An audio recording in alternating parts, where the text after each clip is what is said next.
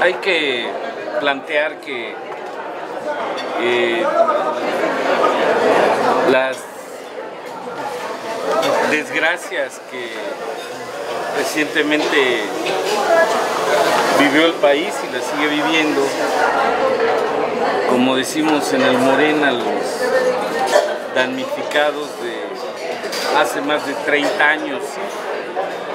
que se aceleran con este tipo de situaciones, son la oportunidad para, como hemos visto, el pueblo de México inicie la reconstrucción del país. Eso es lo que el Morena observa, más allá de lo que ya no queremos abundar, a no ser que tengan alguna pregunta, porque partimos del principio cuando decidimos ir en pos de los demás, de que la mano izquierda lo que haga de positivo no se entere la derecha, no nos interesa protagonizar lo que ya el pueblo de México sabe, como el Morena no dice, sino actúa. Morena no anda parándose el cuello, sino actúa. Eh, más nos interesa que sepan que eh, se aprobó en nuestro Consejo Nacional mandatar a nuestros diputados federales a la propuesta de un plan nacional para la reconstrucción y el apoyo a los damnificados. No es nuevo lo que estamos planteando, pero hoy sí es urgente que a ver si es cierto que son, como dicen los otros partidos que andan ahí de, pronunciándose que van a hacer cosas, a ver si es cierto. Primer punto, vender el avión de Peña Nieto y toda la flotilla de aviones, excepto los de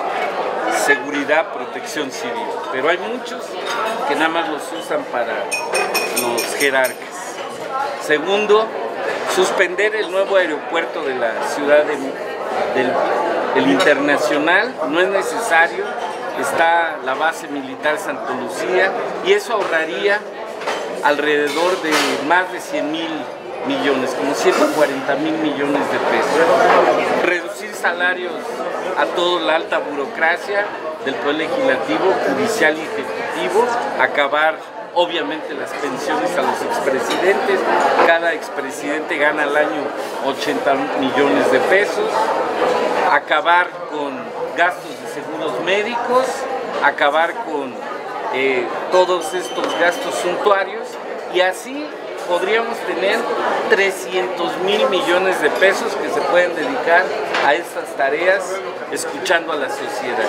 Y no hay que esperar al presupuesto del próximo año, ya ahorita eh, se pueden hacer ajustes al gasto del último trimestre, suspender la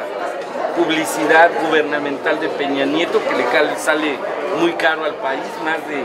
10 mil millones de pesos por trimestre. En fin, hay mucho dinero del cual echar mano y dedicárselo a la reconstrucción del país, a ver si es cierto que en el debate presupuestal